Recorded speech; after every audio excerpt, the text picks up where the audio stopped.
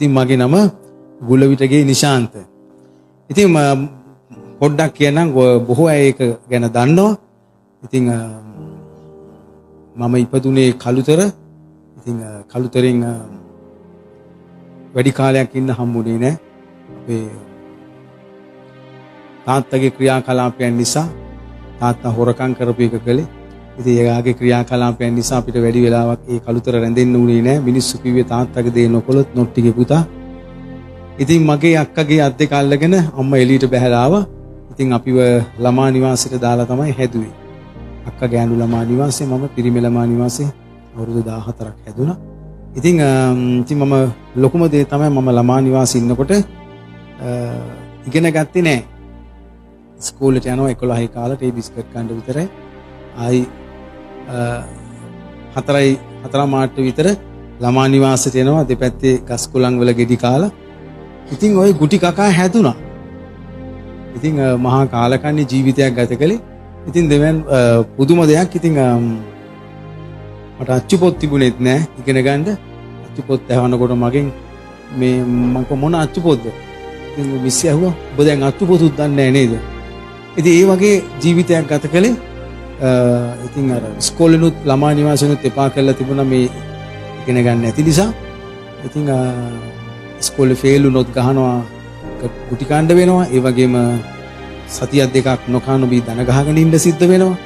ඉතින් ওই වගේ ජීවිතයක් තමයි තිබුණේ. අර යේසුස් වහන්සේ ලූක් 4 16 ඉඳලා 18ට කියනවා මං ආවේ මඩනාලද මිනිස්සු නිදහස් කරන්න කියලා. ඇත්තටම මේ මඩනාලද මිනිස්සු කියලා කියන්නේ අර ඔගොල්ලෝ දැකලා තියෙනවනේ වෙලවල් වෙලවල් දැකලා තියෙනවනේ එක කොටුවක හරක් හතර දිනක් ගැට ගහලා උදේ ඉඳලා රැ වෙනකන් වටේ යන්නේ. දැකලා තියෙනවද? ගුටි කනවා මඩනාලා. මඩනාලා ගුටි කනවා නේද හරක් හතර දිනක්. ඒ වගේ තමයි. ඉතින් සාතන් විසින් මඩනාලා. ඔහේ උදේ ඉඳලා රැ වෙනකන් මොකද කරන්නේ? ඔහේ ලොකු ට්‍රැක්ටර් ටයර් එකක් තියෙනවා. ඕක පැද පැද දෙල් කඳ ඉන්නවා. ඉතින් දෙල් කඳ තමයි ගෙදර සීයලා ගෙදර හිටිය අම්මයි මායි අපේ කළුතර කතාවක් නෑතනින්. ඉතින් මම දන්නේ නෑ ඒ දෙල් කඳ මේ අපේ ගෙට හැ පැත්තේ තමයි අක්කා ඉන්නේ කියලා. බලනකොට ඒ විශාල තාප්පේ තියෙන අක්කා ඉන්න නිවාසය ළමා නිවාසය. ඒක ජයන්ති ළමා නිවාසය. දෙල්කඳ. මම හිටියේ ජයන්ති ළමා නිවාසයේ පිරිමි එකේ මලේ ගොඩින් හැරලා යන්න. ඉතින් අක්කා අවුරුදු 20ක් හිටියා මම 14ක් හිටියා.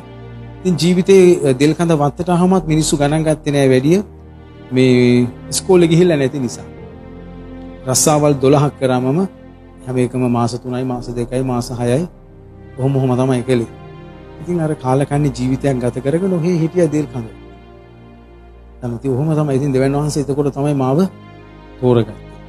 ඒ වෙනකොට ජීවිතේ ගොඩාක් කලකිරලා තිබුණා. මහාන වෙන්න හරි ආසාවෙන් හිටියා. ඉතින් මස් මාළු බිත්තර නොකා මේ සුභද්‍රාරම් පන්සලේ මල් බෙද බෙද තමයි හිටියේ. ඉතින් මිනිස්සු ගණන් ගන්නෑ. ඉතින් පිටිපස්සෙන් ගිහිල්ලා කැම ටිකක් කනවා දොර අරලා. දන්නවද? ඉතින් අම්මා ලෙඩ ඇඳේ. අම්මා කුලි වැඩ කරලා තමයි අපව ජීවත් කළේ විශේෂයෙන් ගෙවල් වල වළං හේදුවා. අන්තිමට සුජාත විද්‍යාල පල්ලමේ තිබෙන ස්කීම් එකේ බදාම තාච්චි ඔළුවේ තියාගෙන ගියා. ඊපස්සේ රැයකට දෙකට නාලා අම්මා ලෙඩ හැදුනා. අපි අමාරු හැදිලා. ඉතින් අපිට කණ්ඩ බොන්න නැහැ. කණ්ඩ බොන්න නැහැ. රැයට විතරයි කන්නේ. අම්මා රුපියල් 15ක් ගේනවා මේ ධර්මිතියක් අමුතගෙන ස්කීම් එකේ වැඩ කළා. ඒක තමයි කන්නේ. ඉතින් කන්න දියන් කියලා කෑ ගහනවා. තාත්තා එතකොට අනුරාධපුර පොළොන්නරුව වැලිකඩ හිරගෙදර ඉඳලා තියෙනවා. අම්මත් හිරගෙදර ඉඳලා තියෙනවා. තාත්තා ළමයිගේ චේන් එකක් කඩලා ඉදිරිපත් වෙනකම්. ඉතින් ওই වගේ ඉන්නකොට තමයි ස්වාමීන් වහන්සේ මාව තෝරගත්තේ. හැබැයි මට යේසුස් වහන්සේ ගැන කිව්වා. මට ආස නැහැ යේසුස් වහන්සේට. මොකද මං හරි ආසාවෙන් හිටියේ මහාන වෙන්න. ඉතින් ජීවිතයේ සසර කාල කිරලා අහස දිහා බලාගෙන රෑ දෙක විතර නිකන් ඉන්නවා. මේ කලබල කාලේ මාර ගහක් කපලා දාලා තිබුණා පාරේ උතන් වෙලා තමයි බලාගෙන ඉන්නේ. 80 ගණන් වල 88 එක. ඉතින් මේ කොල්ලොත් එක්ක විජේරාම විශ්වවිද්‍යාලයේ ගල්පිට්ටනියේ උදේ අහි ඉඳලා හැන්දෑව 6 වෙනකම් බෝල ගහනවා. සල්ලි වලටයි මේ එක එක දේවල් වලට ඉතින් ඕක තමයි කරේ. ඉතින් අවුරුදු 4ක් මට කිව්වට මං ආස නැහැ උන්වහන්සේට. ඒත් එයා කියන්නේ නැතුව නැවතුනේ නැහැ ඒක කිව්වා. දිගටම කිව්වා. මම එනකොට එයා ඉතින් මම එනකොට හැංගෙනවා. එයා එනකොට මං හැංගෙනවා මට ආස නැහැ ඒකට. ඉතින් හැබැයි ජීවිතේ වෙනසකුත් නැහැ. හැබැයි පාසලේ දේවල් එහෙම වුණාට මේ ඇතුළාන්තයේ මේ ලෝකයේ තිබෙන සත්‍යතාවය මේ යථාර්ථය මිනිස්සයාගේ ජීවිත කතාව මරණයෙන් ඉවරද නැද්ද කියන දේවල් ප්‍රශ්න අහනවා මගේ හදවතින්. ජීවිතය ගැන හොඳ අවබෝධයක්කට ආවම මේ පාසලේ දේවල් නැති වුණාට. ඉතින් අම්මා ලෙඩ ඇඳේ ඉඳගෙන අඬනවා මොකද මේ කවදාරි හොරෙක් වෙයිද දන්නේ නැහනේ. ඒ ඉස්කෝලේ ගිහිල්ලත් නැහනේ. ඉතින් ඔහොම ඉන්නකොට එදා උන්වහන්සේ ගැන අහන්න ලැබුණා. පිළිගත්තා.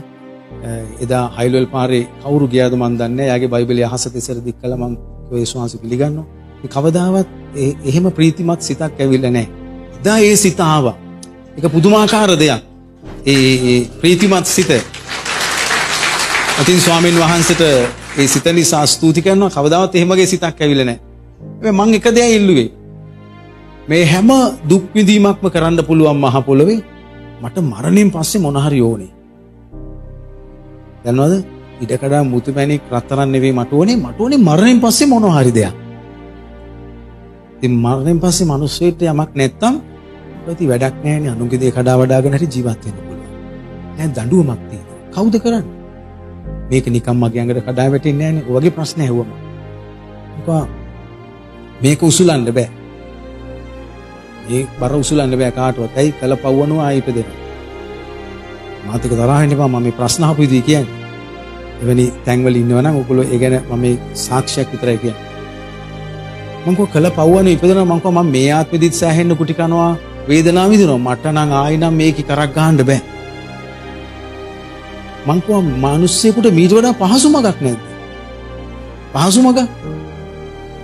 මං කෝ ඒ ආත්මෙත් මං පව් ගෙවන්න බැරුණා. ආයි ඒ අතින්ද ගෙවන්න බෑ නා. ආයි පෙද. අම්මෝ ඉතින් මිනිස්සයා පවුනේ. නේ ඔක තමයි මං ඇහුවේ.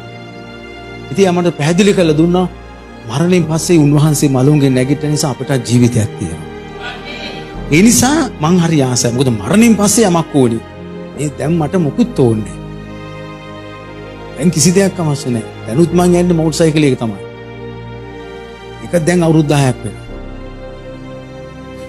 මට හරි සන්තෝසයි මරණයෙන් පස්සේ යමක් තියෙන නිසා. දන්නවද කියන එක? අපි හැමෝම දැන් මෙහෙම හිටියට මරණයෙන් පස්සේ ඉන්නේ නැහැනේ මෙහෙම. මහිමාන්විතව ඉන්නේ නේද? ඉතින් ඒ නිසා මට මරණයෙන් පස්සේ තියෙන තෑග්ග ගැන තමයි මම නිතරම හෙව්වේ. ඉතින් ඊට පස්සේ මම පල්ලි ගියා මේ කැටියෙන් කියනවා. හරි. වේගෙන් කියන්න බෑ. පල්ලි ගියා ඊට පස්සේ දැන් එක්කෙනෙක් මගේ අතාල ලකුරු ලියුවා. ඉස්සලම කරේ බයිබලේ පොත් අටය ලොකු අකුරෙන් බිත්තිය ගහලා පාඩම් කරපු එක. ඉතින් එදා විනාඩි 5යි මම පාඩම් කළේ. ආයි ඊට පස්සේ මම ඒක පාඩම් කළේ නැහැ. ඒ දන්නවද? අදටත් ඒක පාඩම්. දන්නවද? ඔයගලන්ට පාඩම්ද? ඒක තමයි ප්‍රථම දේ. ඉතින් මේ කොහෙවත් තිබුණ නැති මහා පුදුම ප්‍රඥාවක් දෙවන් වහන්සේ මට දුන්නා. ඉගෙන ගන්න කරුණාව දුන්නා. මේ පුටුවක වාඩිලා ඉන්නවා කියන්නේ කාමිලිය ගෑවිල වගේ. ඉන්නෙම නෑ පොඩ්ඩක්වත්. ඔව් පොඩ්ඩක් ඉන්නවා ආයි දන් කැලේට යනවා. ආයි ටිකක් ඉන්නවා වෙල්ලාත කණ්ඩයක්. ඉතින් මොකද කරන්නේ දාන ගහලා බිස්කෝලේ බිස්කට් දෙනවා සර් ගහලා ගහලා බිස්කට් දෙනවා. ඉතින් අපිට කියනවා මුන්ගේ ඇඟවල් කබරේ වගේ ඒ තරම් වැඩකුත් නෑ ගහලා මුන්ට. ඉතින් ඒ වගේ තමයි ගානක් නෑ. ඒ දන්නවද තේරෙන්නේ නෑ මඩනාලද ජීවිතනේ. අර ගදරිනේ හිටිය මිනිස්සයාට මොනවද තේරුනේ? ගල් වලින් කපා ගන්නවා, දන් වලින් ගැට ගහලා සොහොන් ගෙවල් වල ඉන්නේ. ඇඳුන්නේ නෑ. යක්ෂාත්මිය දුරු කරාට පස්සේ යාගේ ඇස් සැරුනේ. එහෙම නේද? ඉතින් අපි අපි සමහරවිට යක්ෂාත්ම ඇතුණාට අපි ඔක්කොම හිරි වැටිලා අන්ධ වෙලානේ හිටියේ. මඩනාලද ජීවිත ඉරගෙවලල හිටියේ. ඉතින් ස්වාමින් වහන්සේ පුදුම දේ කළා. ඊට පස්සේ ඉගැන්නුවා. බයිබලයේ කියවන්න හරි ආසයි. රාය දෙක වෙනකම් බයිබලයේ කියනවා. පිටපත් කරනවා. දන්නවද? ඉතින් කොහොම හරි පිටපත් කළා පිටපත් කළා හරි දෙවනස ආසාවක් දුන්නානේ. ඉඳගෙන ඉන්න ආසාවක් දුන්නා. ඉතින් රෑ වෙනකම් පිටපත් කරනවා පිටපත් කරනවා කියවනවා. කොහොම තමයි මේ දෙවන් වහන්සේගේ ප්‍රඥාව දුන්නේ. ඉතින් කොහොම 1991 මං සේවයට ආවා දෙවන් වහන්සේ මාව සේවයට කැඳෙව්වා. ඒ හඬ මට අදටත් මතකයි. ඉතින් පස්සේ පාස කෝල්ටන්ගේ තිමෝති විද්‍යාලයට ගියා. ඉතින් කොහොම හරි ඒක අවුරුදු එකමාරක් දෙකක් පහු කළා තිමෝති විද්‍යාලේ. ආ ඊට පස්සේ 96 මං ගී පද රසකෙක් නෙවෙයි. මගේ තාත්තත් එහෙම නෙවෙයි, අම්මත් එහෙම නෙවෙයි. බටනලාවක් ළඟින් ගිහිල්ලත් නැහැ. හැබැයි 96 අනේ මට මේ ගීතිකාවක් ආවා. ඒ තමයි මගේ ප්‍රථම ගීතිකාව තැලුණාව බිඳුණාව. ඉතින් මට බෑ ආ මට හිතුණා ගීතිකා හදන්න හැකියාව තියෙනවනේ. තැලුණාව බිඳුණාව ගීතිකාව ආවා හදවතට. දන්නවද? හැබැයි මං ඊට ඉස්සෙල්ලා ඔය රාත්‍රී කෑම කාලා ඔය තව පල්ලියට කීප දෙනෙක් කියනවා මේ වැඩට යන අය ඒගොල්ලන් එක්ක එකතු වෙලා ගීතිකා දෙක තුනක් රෙකෝඩ් කළා. කැසට් එක මෙහිම තියලා එක්කෙනෙක් ගිටාර ගැහුවා. ඉතින් මම හිතුවේ නෑ ඒක එච්චර දුර යයි කියලා. නමුත් දඹුල්ලේ ගෙදරකින් මට ඒ ගීතිකා හතර හම්බ වුණා. යනකොට මැද පෙරදිගට ගිහිල්ලා ඒක ඇවිල්ලා තියෙන්නේ. මම ගෙදරට ගියාම කිව්වා මට හොඳ ගීතිකා වගේක් හම්බ වුණානේ. බලනකොට මම කියන්නේ ඒක මේ ගීතිකා හතර දන්නවද? ඉතින් ඒ වගේ දෙවන් වහන්සේ පුදුමයි. ඊට පස්සේ ඔහොම ඔහොම සියලු දේ සපේ. හ්ම්. ඒ වගේ මාර්ගය ඔබවි. සුදාත්මයාණනී පිහිට වී මාසිත. සුදතුනී පුරවන්නේ. ඒ ඔක්කොම ගීතිකා එහෙම එහෙම එන්න ගත්තා. ඊපස්සේ දෙවෙනි ගීත CD එක කළා. දයාවන්ත වූ යේසුවි. ඔබ මාගේ ජීවනයයි සමදා. ඉතින් ඔබ නම දින්නම ආකාරයස්. ඉතින් ඒ වගේ තුන්වෙනි එක සදාකාලික ප්‍රේමය. ඒ වගේ ඊට පස්සේ හතරවෙනි එක මිහිරි සුවඳ. ඈබර කමින් සුළඟක් වගේ ඇවිදින් මේ ගීතිකාව නිර්මාණය කරන්න කරුණාව දුන්නා. ඊට පස්සේ දෙවිදුන්ගේ බලවත් ක්‍රියා CD එක නිමැවුම් කර. ඉතින් ජීවනයේ අධිපති යානිනී කියලා මේ 9 වෙනි CD එක අවසාන CD එක ගිය සැප්තැම්බර් දැන්. පාස්ටර් ලකි සෙනවිරත්නත් මම ගීතිකා CD පහටම ගීතිකා දීලා තිනවා උදේන් උදේ ලොව ගලවන්නට අභිෂේක වූ තනු දාලා තියෙනවා සෙනෙහස කලා ගියා CD ඒ ගීතිකාවේ තනුව දාන්න පුළුවන්කම ලැබුණා. ඒ වගේ CD පහටම ඒ වගේ ගීත පාස රසික CD එකට ගීතිකා කීපයක් දෙන්න පුළුවන් වුණා මාධ්‍යවේ තිබෙන තුරා සමදනක් නම දයාවයි කරුණාවයි සමිඳුන ඔබගේ ප්‍රේමය කවදාවත් අමතක වෙන්නේ නැහැ. ඉතින් ආලේප කරන් ඉතින් මේකේ ගොඩාක් ගීතිකා නිර්මාණය කරන්න ස්වාමින් වහන්සේ උපකාර කරලා තියෙනවා. ඉතින් ඒක දෙවියන් වහන්සේගේම පුදුම දෙයක්. ඉතින් තබ්ලා එක වාදනය කරන්න පුළුවන්, গিitar එක වාදනය කරන්න පුළුවන්. ඕගන් එක ටිකක් වාදනය කරන්න පුළුවන්. ඉතින් මා ගාව තියෙනවා තබ්ලා එකයි සර්පිනාව තමයි ඉතින් සර්පිනාවයි ඕගන් එකයි තියෙන්නේ. ඉතින් ස්වාමින් වහන්සේ තමයි. ඉතින් මම මේ ගීතිකාකාරයෙක්වත් ගායකයෙක්වත් නෙවෙයි. හැබැයි මම මුල ඉඳලම මේ බුරුම බෑග් දෙකක් මට තියෙනවා. ඒ බෑග් දෙකේ පත්‍රිකා දාගෙන මම ගෙයින් ගෙට පලාත් තෝරගෙන සුභාරංචිර යන මිනිස්සෙක් මුල ඉඳලා. පස්සේ තමයි මේ ගීතිකා ලිවීමේ හැකියාව. ඉතින් මම දැන් වැඩ කරන්නේ මේ හත්වෙනි පළාත මීගොඩ. අයිලවල් පාර මීගොඩ වැඩ කරන්නේ හත්වෙනි පළාත. මම පළාතක අවුරුදු 10ක් 12ක් විතර රැඳී සිටිනවා. ඉතින් ඒ පළාතේ රැඳී සිටලා යමක් දෙව කරුණාවෙන් මඟ පෙන්වීමෙන් කරනවා. ඉතින් මං නැවත තව පළාතකට යනවා. ඉතින් තමයි මගේ මේ දීමනාව සේවය මේ මම අඳුනගෙන තියෙනවා මගේ දීමනාව. ඉතින් මම ඒ විදිහට තමයි ගමන් කරන්නේ. ඉතින් මම නිතරම මම එක දෙයක් දන්නවා. CD 25ක් කළත් මට CD වලින්වත් ජනප්‍රියත්වයෙන්වත් මේ ගමන අවසන් කරන්න බෑ. හැමදාම දෙවියන් වහන්සේගේ ශක්තිය මඟ පෙන්වීම හොයනවා. ඒක ඇති වෙන රහසක් නැහැ.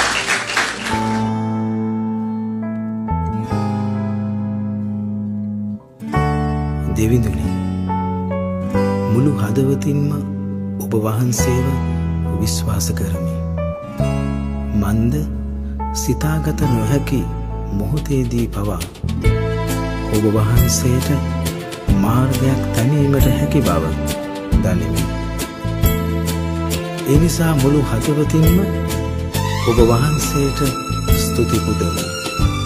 යේසුස් ක්‍රිස්තුස් වහන්සේගේ උතුම් වූ නාමයෙන් ආමෙන්. දෙවිඳුන්ගේ බලවත් ක්‍රියා සැමදාම මා දකිනවා දෙවිඳුන්ගේ පුදුම ක්‍රියා සැමදාම මට පේනවා දෙවිඳුන්ගේ බලවත් ක්‍රියා සැමදාම මා දකිනවා. දෙවිඳුන්ගේ පුදුම ක්‍රියා සැමදාම මට පේනවා. ඉහළ අහසේ පොලෝ තලයේ පුදුමාද දෙවිඳුන් කරයි. ඉහළ ආසේ පොලෝ තලයේ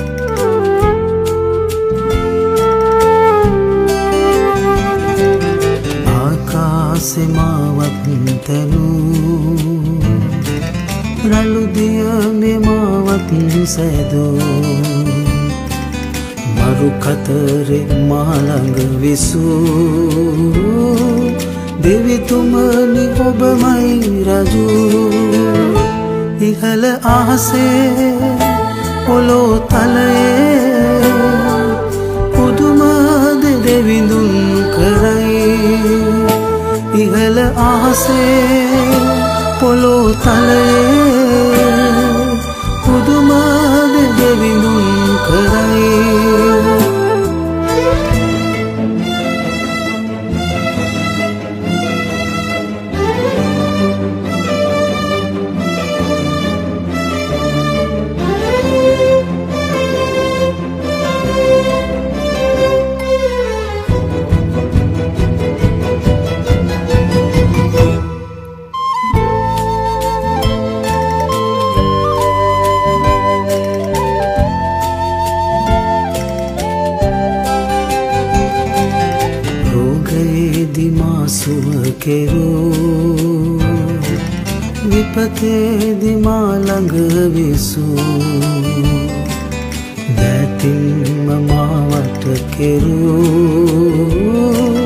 පියතුමනි ඔබමයි රජු. දෙවිඳුන්ගේ බලවත් ක්‍රියා සැමදාම මා දකිනවා. දෙවිඳුන්ගේ පුදුම ක්‍රියා සැමදාම මට පේනවා. ඉහළ ආසේ පොලෝ තලයේ පුදුමාද දෙවිඳුන් කරයි. ඉහළ ආසේ පොලෝ තලයේ පුදුමාද දෙවිඳුන් කරයි. ඉහළ ආසේ පොලෝ තලයේ පුදුමා